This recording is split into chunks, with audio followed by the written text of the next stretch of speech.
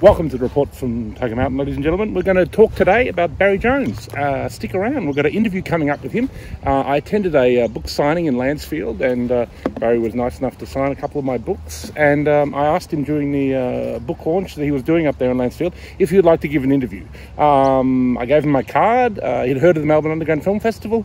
Um, we spoken briefly about you know how his own Barry Jones's own involvement um, with the Australian film industry, and um, you know how he helped build it in the early 70s with people like Phillip Adams and stuff. And uh, he said there were a lot of talented people around the Australian film industry then. And I said there's a lot of talented ones around now, but they're not getting funding.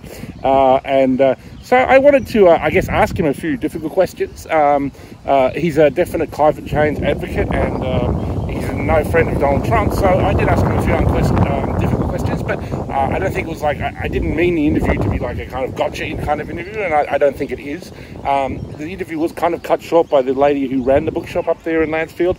Uh, I think she probably didn't like the uh, way the questioning was going, I'm not sure. Um, but anyway, this is what happened, and uh, I want you to enjoy it. So stick around and watch the Barry Jones interview, the report from Tiger Mountain. Thank you.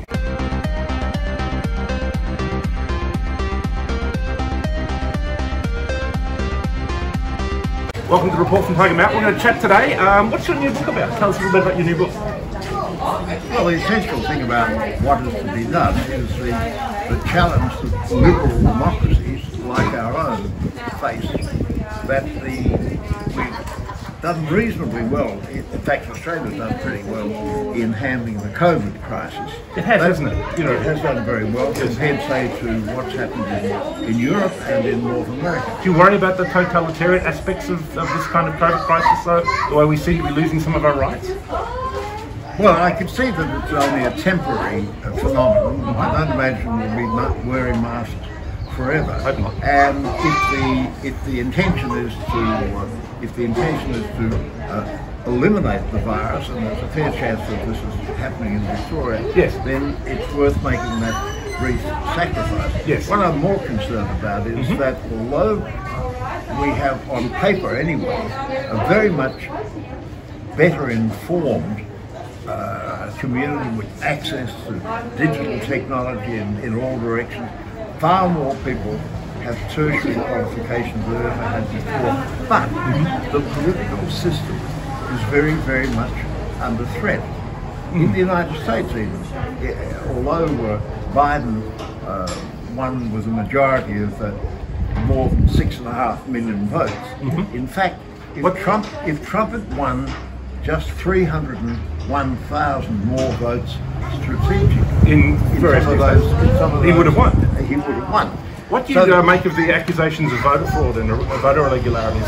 Things like, um, obviously, the COVID crisis created a situation where there are a lot of mail-in ballots, and in a way, I mean, you know, there's something slightly suspicious possible there. Well, they've only had mail-in ballots since the 1860s. That's I mean, true. not exactly an innovation. But why, why isn't media questioning it? I mean, that's the strange thing. Do you think there's a kind of complicity with the kind of liberal agenda to some extent? How do you mean? Well, um, you know, like like if the say the situation was reversed and that you know like uh, Donald Trump had, had, won by you know like some I don't know 200,000 mail-in ballots and there were some irregularities and it appeared maybe the Republican Party was kind of loading the ballot maybe you know I'm sure mainstream media would question it. I mean I worry about uh, mainstream media bias obviously there's the Murdoch media, which we know they do favour the right wing, but um, CNN and um, a lot of mainstream media in the US obviously favours Biden. You, you, obviously know the divide. The well, you've got to, this is quite interesting. You've got to argue, not that we're talking about my book, of course, no, we're talking about your idea, but the, uh, the, the critical thing is uh, it's interesting. The Republicans actually did pretty well in the House of Representatives. They did. And they looked like they retained the Senate. I wonder if those votes are fake as well. Yeah, I understand what you mean there. That's a good point. Um, so back to your book. Um, well, I thought, wondered whether you'd get back to it. Of course, of course. Um, uh, so you, you, raised the whole issue of climate change. Uh, would you like to address that? Yes. Yes. Um, say about it? Um, the focus on CO2, do you think that is a, um, I mean, obviously things like the oceans contribute a lot to CO2 and uh, volcanoes. And, you know, obviously energy prices are going to go up with a lot of climate action and things like that. And so obviously if we are to kind of um, hurt the, the working class and the middle class with higher energy prices, there needs to be a damn good reason for it. And obviously, wait a minute, I'm, I'm, I'm, you've lost me. Why would there necessarily be high energy prices? Well, um, because obviously not using the cheapest energy source like coal or something like that. Uh, funnily enough, I would have thought of sunlight as being even slightly cheaper. It's true, no, it is, but is the technology quite up to scratch at the moment? You just, did you see the Michael Moore documentary, The Planet of the Humans?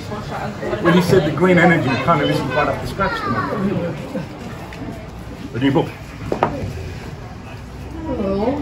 Michael Mosley is a wonderful expert Michael Moore. med- on medicine. Michael Moore, you know, the filmmaker. Oh, Michael Moore. Yeah, yeah, he did Oh, a documentary. You might You have said seen Mike Mosley, but anyway. But anyway, look, it's an interesting question. I, I always just think it's just um, something that's worth debating. But this book seems to be an essential read, um, which is about climate change and where to from here. Is that right? Well, uh, yes. And, Well, it's a pleasure talking to you, Barry. well, Thank you. the pleasure was all yours.